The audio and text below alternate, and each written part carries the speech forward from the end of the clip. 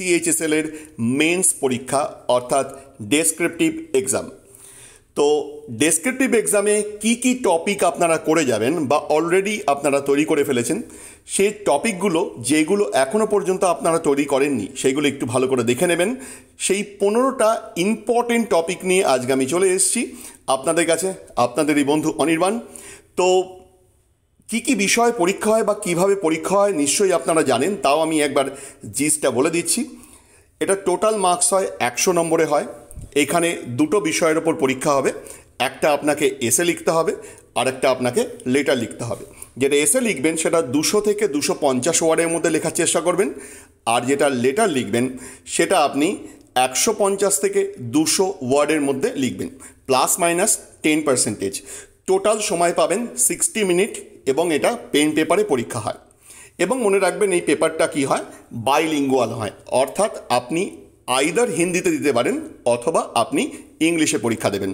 Total qualifying এটা marks পেতে হবে আপনাকে থার্টি থ্রি পার্সেন্টেজ তো আমি চলে এলাম আপনাদের কিছু টপিক বলতে ইম্পর্টেন্ট টপিক বলতে, আপনারা অলরেডি এই সমস্ত টপিক হয়তো করে ফেলেছেন। দেখে নিন, যদি কোনো টপিক মিস হয়ে যায়, একবার কিন্তু চোখ বুলিয়ে নিতে কিন্তু ভুলবেন না। এছাড়াও রয়েছে সামনে এমটিএস এক্সাম সেই এমটিএস এক্সাম বা সিজিএল মেন্স রয়েছে, বা আপনার সামনে রয়েছে এসআই এর মেন্স হবে। সেইখানেও কিন্তু এই টপিকগুলো কিন্তু সমান ইম্পর্টেন্ট তো আগে থেকে যারা এই সমস্ত পরীক্ষাগুলো দিচ্ছেন, তারা কিন্তু ঝালিয়ে নিতে পারেন। আমি জাস্ট টপিকগুলো একটা একটা করে বলে যাচ্ছি। আপনারা দেখে নেবেন জাস্ট এই টপিকগুলো আপনারা করেছেন কি করেননি।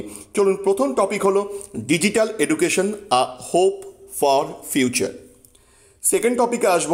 সেকেন্ড টপিক এসের যেটা রয়েছে অলিম্পিক গেমস দু হাজার কুড়ি টু থাউজেন্ড টোয়েন্টি তিন নম্বর পয়েন্ট হলো ডিজিটাল ইন্ডিয়া চার নম্বর পয়েন্টে আসব।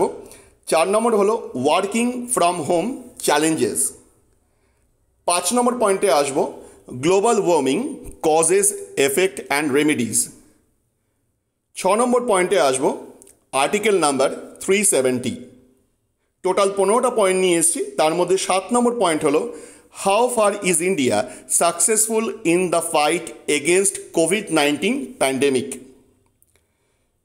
আট নম্বর হলো overpopulation causes impact and prevention ন নম্বর পয়েন্টে চলে আসব। বেটি বাঁচাও, বেটি পড়াও। ন নম্বর পয়েন্ট টোটাল পনেরোটা পয়েন্টের দশ নম্বর পয়েন্ট হলো new education policy two zero two zero এগারো নম্বর পয়েন্ট হলো ওয়াটার ক্রাইসিস ইন ইন্ডিয়া চলে আসি বারো নম্বর পয়েন্টে বারো নম্বরটা যে টপিকটা আমি দেবো, সেটা হলো ওয়ান নেশন ওয়ান এক্সাম যেটা হলো সিইটি বলে পরিচিত এটা। মেরিট অ্যান্ড ডিমেরিটস চলে আসি তেরো নম্বর টপিকে তেরো নম্বর টপিক হলো plastic pollution there should be a ban on plastic bag এই যে পনেরোটা আপনাকে আমি টপিক দিচ্ছি, তার মধ্যে তেরোটা টপিক আমি বলে দিয়েছি।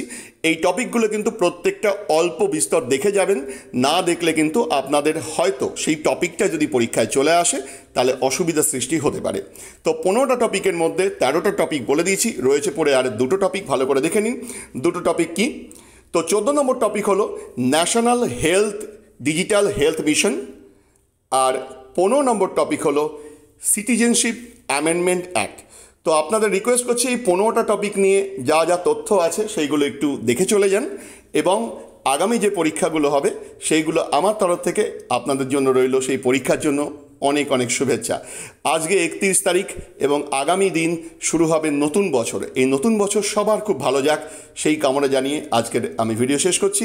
আমাদের চ্যানেলকে দয়া করে সাবস্ক্রাইব করে নেবেন। এরম আরও ভালো ভালো ভিডিও পাওয়ার জন্য নমস্কার।